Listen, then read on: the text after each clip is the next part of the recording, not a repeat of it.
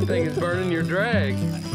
This week on Kentucky Afield. Daddy, I got one. Daddy, I got It's Father's Day weekend, so we're celebrating with some family fishing Look how big that bluegill is. and one of Chad's kids' favorite meals, Doesn't get much fresher than this. fish tacos. Next, Pretty good one, actually. Sondra was introduced to fishing by her dad, and later used that inspiration to become a professional bass angler. There you go. We'll hear her story, catch some fish, and more. Look That at is him. pretty wild. Then, Kentucky's elk herd is producing some impressive bulls. We're going to take a look at one that tops the charts. 407, 408, what it grows. It's all next on Kentucky Afield.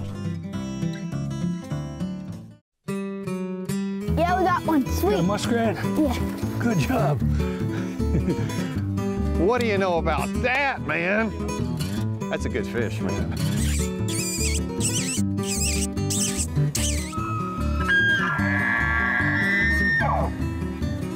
Nice male smallmouth, healthy, pretty colors. Cody, here. Find us one more good pheasant, Cody.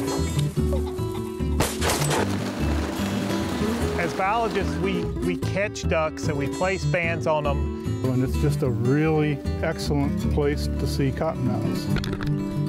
What do you think? That was pretty fun.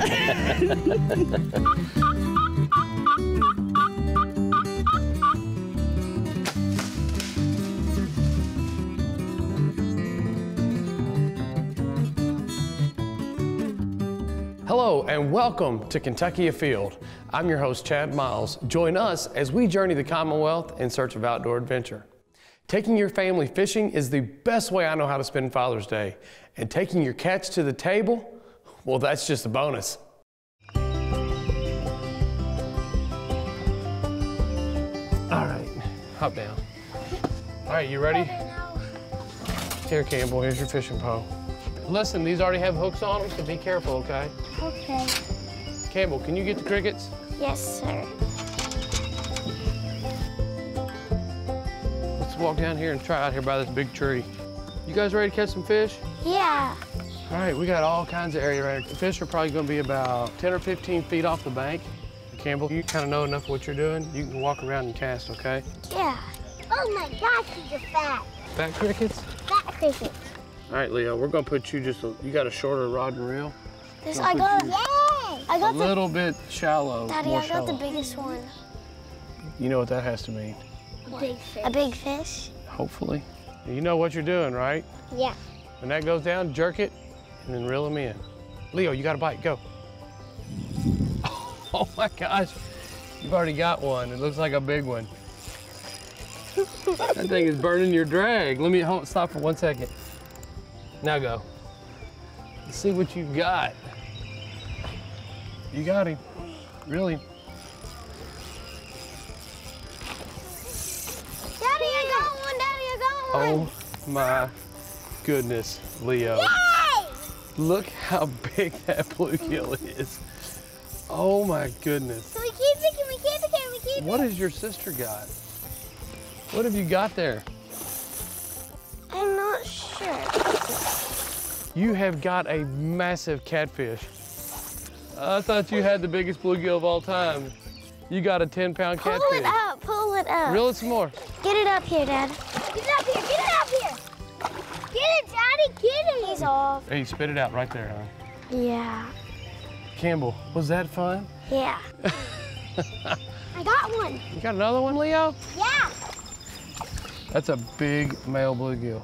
That's a really big, Leo. Good job. I Tell you what, now that I see how big some of these male bluegills are, we'll just keep a couple of males and we'll throw all the females back. I think I have a bluegill. Woo. That's a good one, Campbell. Get ready, Leo. You got a bite. Jerk it. Jerk it. You got him. Whoa! What do you think about that? Got another. None of them are small. They're all big. I don't know what you have, but that looks like a big fish. it's a bluegill. Look at that fish, Leo. This bluegill is bigger than your face. Look at that. And it's the size of yours. I mean, that these are just. You talk about catching bluegill as big as a pie plate. Look at that. That is huge. What a pretty fish, Leo. Shake him down. Hey, I've had a great time. This has been a great Father's Day for me watching you guys catch these fish. I'm ready for a taco. What do you think? Yeah. All right.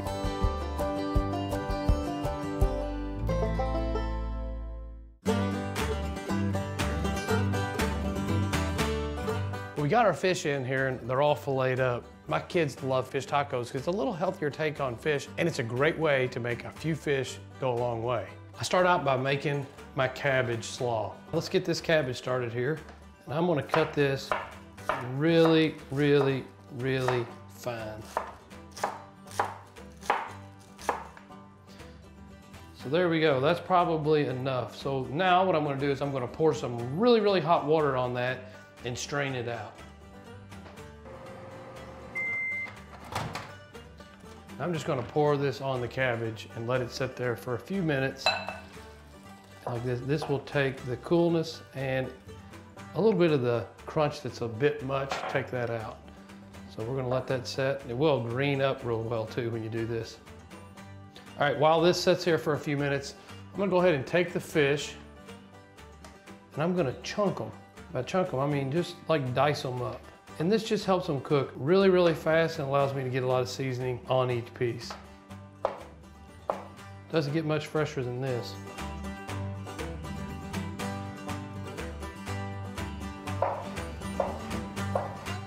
Now, I'm gonna take the slaw now that's in this boiling water and I'm gonna go ahead and drain it. All right. Now, I'm gonna pour a little bit of apple cider vinegar in here. For about as much apple cider vinegar as I put in, I'm then gonna add cold water, just so it doesn't overpower it. Put that in there. And then pepper. And this is just a simple slaw that's really, really good with fish. Like I said, it adds a little bit of tartness. I'm gonna add some heat and it just makes a really, really, really good simple slaw. And essentially, that's it. We're gonna let that set aside and it'll be ready to go when the fish is done. Next thing I'm gonna do is I'm gonna get an avocado sliced up. Avocado is obviously really, really good on fish sandwiches. It also is really good with spice. Tabasco on fish tacos for me is the way to go.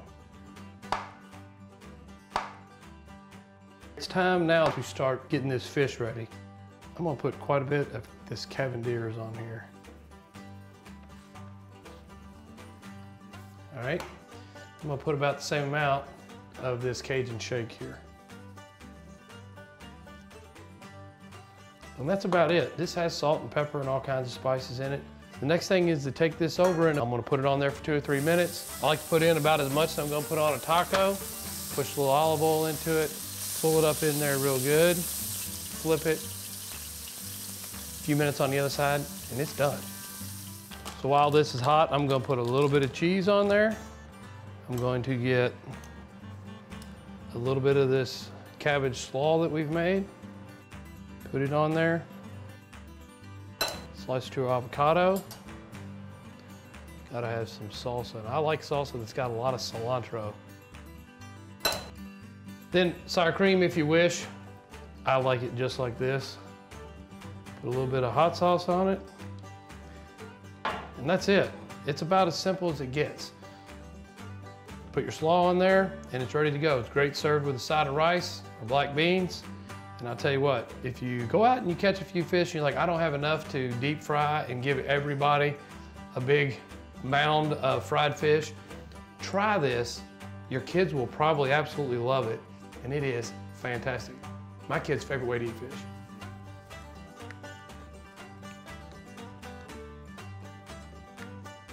Really good.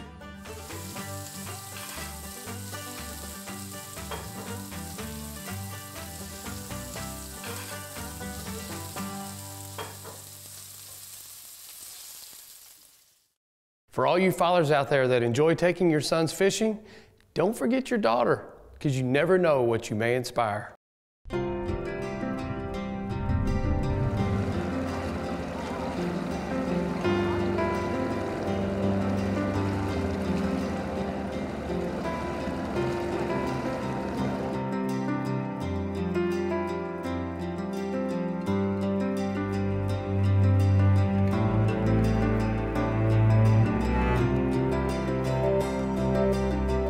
My dad will take credit for all of my fishing and love.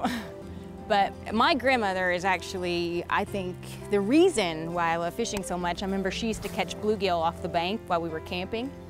And I believe what happened was she set it up. There was already a fish on the hook, but she made me believe I caught it. That never and happens. Yeah. Not with kids. And then it was done. It was done. Then suddenly it wasn't so much that I wanted to catch fish. I wanted to catch more than grandma, and that's when the competition came in. You got a bass. You got a fish. We got something on here. That's so exciting. Pretty good one, actually. yeah, it's not coming out. I might grab that net under your feet there if you don't mind. There you go. Thank you. What a nice fish. Hey, we'll get we'll start off with that. Not a bad fish. What do you think? Three pounds? Sure. I'll go with that. Sounds good to me. There you go. Caught it on a little jig here. Little baby advantage jig. Give it another go here in a second. Try to catch a couple of them. I think that's a great idea. All right, hop up here and get you one. Uh-oh. Here we go. I don't know. I don't think he's a very big one. Oh, he's a good one. No, he's a big one. No, he's good. No, he's bad. Oh, he's a fighter. It's a pretty good fish. Yeah. Let me get the net. See, I told you they had a bigger appetite Yeah. this morning than. Very first cast. Yeah. There you go. Thanks. Nice job. He liked it so much he. Very first cast very with that worm. yeah. And uh, not only did he bite it, he took it. That's a good fish. Happy First- day. First cast a little bit deeper. Yeah. So maybe we're getting a pattern here. That's right. We're good. We're gonna let him go though. Nice job. Yeah. I'll take it. Go on, buddy. Sondra, you started fishing with your dad at a really young age, and unfortunately, you lost your dad a few years Yeah, ago, it was, it was awful. Daddy and I always fished together. We grew up here on Kentucky Lake. Daddy was diagnosed August 23rd, three years ago, with stage four uh, colon cancer metastasized to his liver with potential spots on his lungs and other various places. We miss him so much. It gives you a really scary perspective of how non-prejudiced that cancer really is because my dad never drank, never smoked, never did drugs. He was very fit, very healthy. You know, mama always cooks good, nice, you know, homemade meals and it can happen to anybody. You don't, you can live the perfect healthy lifestyle and it's still gonna, it's gonna creep in and get you if it finds a way. So. Oh, yeah. You just have to be thankful for every day that we're given and do the things that you love to do.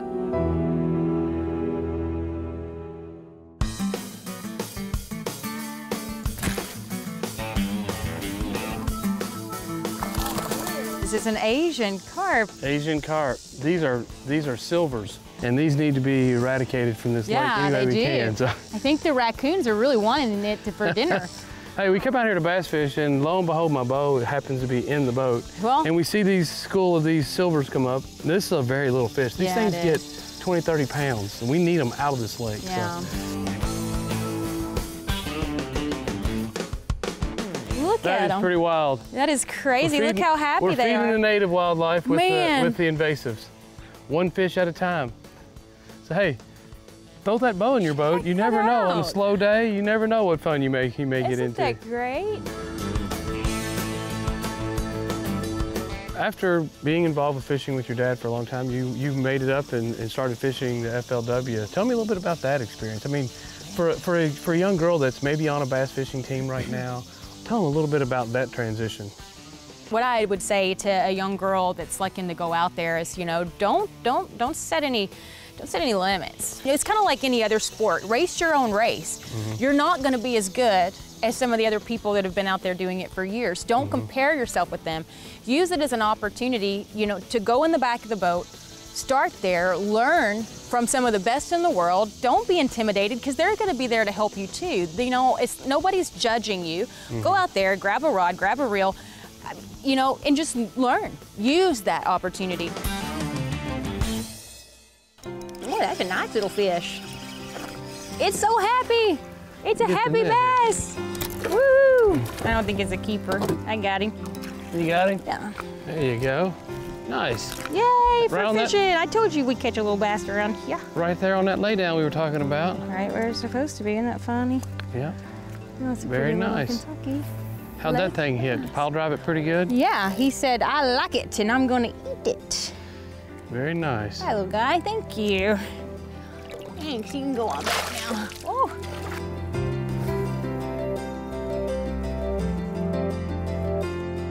Your dad loves Kentucky Afields. He did. And you wanted to come do this show It's because exactly why I'm here. And I've told a couple, I mean, I've told a couple close people that I was, you know, filming with you guys today. And, you know, that's the main reason why I'm here. It's like my dad loved watching Kentucky Afield because it was, it's just such a true show of, you know, our area and, and Kentucky. And he loved Kentucky Lake and he loves hunting and fishing. And so whenever the show would come on, it was like bringing a piece of his heart and his home to him through his Oh, yeah. TV when he couldn't be out there doing it himself, you know? yeah. And so uh, I just always remember when I was a kid, you know, Dad would always be like, "You need to call them. You need to be on their show." Da da da. And I was like, "No, Dad. It's you know, it's fine."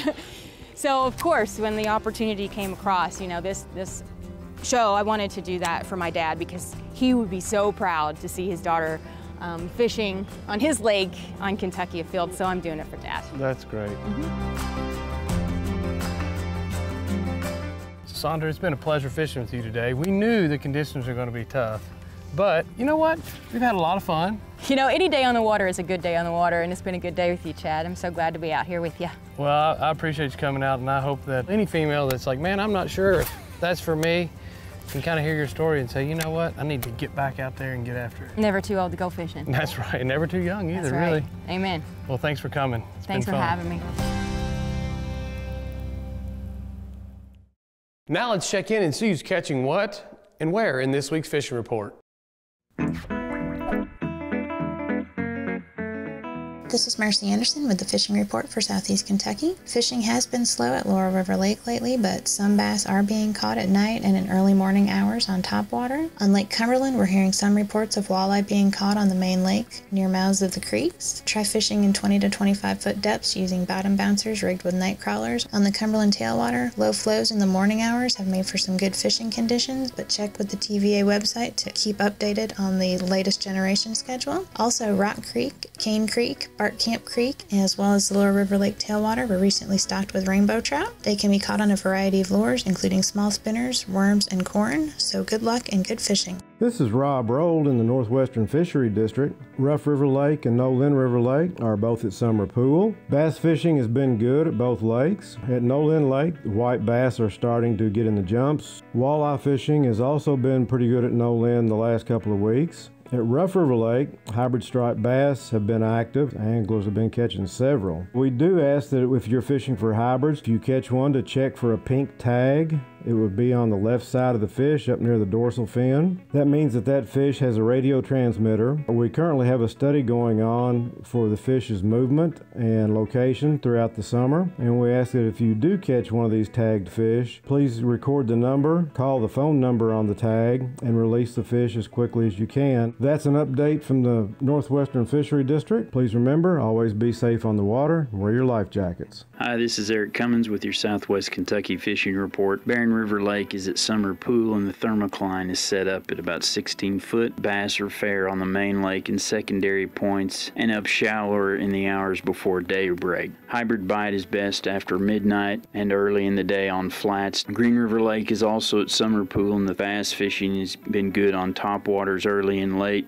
Soft plastics in about 15 to 25 foot of water. Crappie have been good in about 15 to 20 foot. Muskie fishing has been fair trolling on the flats with deeper crankbaits in 15 to 25 foot of water. Good smallmouth and rock bass fishing on Green River above Mammoth Cave National Park, on Barren River above Drake's Creek and above the lake. As always, good luck and good fishing. Be sure your life jacket's got your back. Fall is right around the corner, and elk season will be here before you know it. And this is the time of year that antler growth is at its peak. Let's take a look at just how big these antlers can get. Wow, what an impressive animal. Sam Billiter, nice to meet you. Nice to meet you. I've seen a couple pictures of this animal, but it doesn't do it justice. Standing here and, and seeing the, the mass and the, and the width of this is really impressive. Yeah, it's a gorgeous animal, once in a lifetime animal. Well, congratulations. Uh, this is the current state record elk. Uh, yes, it is. And uh, what, what this thing grows? 408? Uh, around 407, 408 is what it grossed. And then it ended up netting. The, this is the first Boone and Crockett bull elk taken in the state, right? Uh, first booked Boone and Crockett bull elk uh, in the state of Kentucky. And what was the final score? Final score was 392 and 08. 392. Now this elk here was taken obviously in 2016. Interesting way you got your tag. You actually acquired a tag by uh, working for a group that donated some property for hunting rights. Right. I work for a large coal company in eastern Kentucky. I've worked for them for about 17 to 18 years. And uh, the Fish and Wildlife Department has a program for 5,000 acres of, of donated property that allows uh, the community around you or people in the state or outside the state to have access to, to get drawn for that, to, to open it up for hunting. Mhm. Uh, and that's what we did and, and acquired a couple of tags uh, for doing that. We did uh, 10,000 acres. And you had seen this animal some prior to the season. You knew that this animal was out there, didn't you? I've seen this animal a couple weeks prior uh, Mhm. to the hunt. You had some Uh, video. I got, got you- some video of it. Uh, this one actually just moved into the property probably a couple, two or three weeks earlier.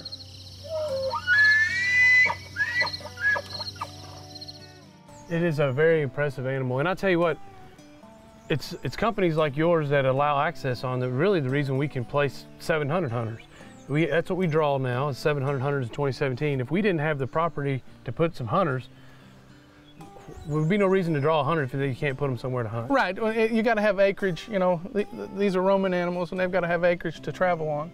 Well, and I'll tell you what, for people that want to come down here and and uh, and hunt elk, or they want to take a tour and see elk, reclaimed coal mines are the place to go, aren't they? Oh, it's a beautiful area. This Joker liked that reclaimed mine land because he was fat and healthy, was he? oh, absolutely. I mean, what an animal. I mean, like I said, a once in a lifetime animal. Well, I appreciate you uh, showing me this animal and walking me through this uh, this great hunt of yours. Uh, congratulations. Somebody's going to have to really work to beat this one. Well, I, I'm, uh, what'll happen one of these days, I'd say.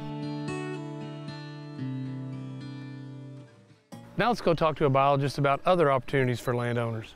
So, Will, now that was an impressive elk. It was, really was. I know now you, you've been dealing with the elk program for how long? I've been working uh, since 2005 with elk in Kentucky and uh, full time in the elk program here in the state since 2011. So, is that the biggest one you've seen? That is the biggest elk I've ever seen in Kentucky for sure. The interesting thing is that uh, Mr. Billiter was able to take that elk using a, a, a program that the Department of Fish and Wildlife offers to really gain access for all hunters. Tell me a little bit about that. One of a really successful program we've had, it's been running for around a decade now, is a landowner cooperator program. Uh, for that program, for each 5,000 acres that a landowner opens up to, to hunting access, that landowner receives an elk tag. Now, of course, they have to have elk on the property before, before we'll sign that deal. There's another program you guys have too. You also have a program where an individual that may not have 5,000 acres, Yeah. that has a good piece of property, they say, wow, we'd like to get an elk hunter on there. Tell me a little bit about that program. What's that called? Yeah, so that's our voucher cooperator program. Most of Kentucky is, is privately owned. It's predominantly privately owned, but not all landowners have 5,000 acres. So the way the voucher cooperator program works is a landowner uh, has to be a minimum of uh, 100 acres. It's a harvest-based point system. The landowner receives points for harvested elk. Once they receive 20 points, that landowner gets elk permit for the following year. Uh, so a cow counts as one point and a bull counts for two points. So the good thing about it, especially for the smaller properties, is that the points roll over from year to year. Uh, So for some of our smaller landowners, it might take them a few years, but we're happy to do that. And we're still taking landowners. Hey, that, that sounds great. Will, I appreciate you letting us know what the department's trying to do to, to gain additional access. I've always enjoyed my time in the field with you, and hopefully this year I'll be giving you a call and come back down. I won't be hunting myself, obviously, but I will come down here and we'll try to film a gentleman or a lady who gets a tag. So. Yeah, that sounds great. Now let's check in and see who else has been out having fun in this week's Ones That Didn't Get Away. Here's Angelina Ferrigno, who obviously really loves to fish. She holds this nice largemouth bass caught at a farm pond in Jefferson County. Here's James Blackburn holding a really nice bluegill caught in a farm pond in Anderson County. Nice job. Here's Cameron Henson with a nice largemouth bass that he took at a farm pond here in Kentucky. Congratulations. Here we have a familiar face. This is conservation education leader Clay Brummel, who caught some nice crappie fishing in Hickman County. Nice job, Clay. Kentucky Afield would like to wish all you fathers a very happy Father's Day. And if you want to watch any of the segments you saw tonight in their entirety, you can find them on our YouTube page. And remember, hunting and fishing on private property is a privilege. Always ask permission and thank the landowner. Until next week, I'm your host, Chad Miles, and I hope to see you in the woods or on the water.